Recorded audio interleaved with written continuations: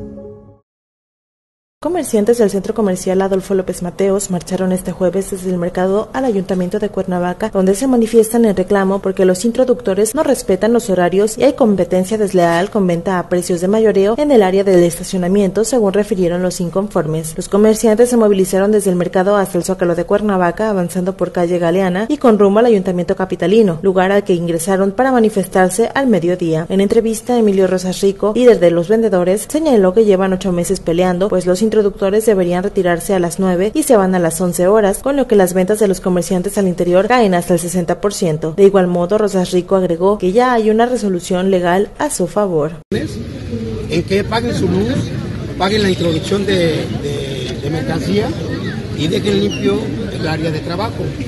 Y independientemente hay un andén que lo han ocupado como bodega y ese anden como bodega, ya no, ya no lo queremos porque es un nido de delincuentes ahí. Ahí es a donde se, se, incrusta la delincuencia. Entonces lo único que estamos pidiendo es que respeten el acuerdo. Y limpieza esa área. El acuerdo es de que respeten, es de que respeten el horario. El horario. Quisieran, con información de Tlauli Preciado e imagen de Jod Vera, La Unión de Morelos.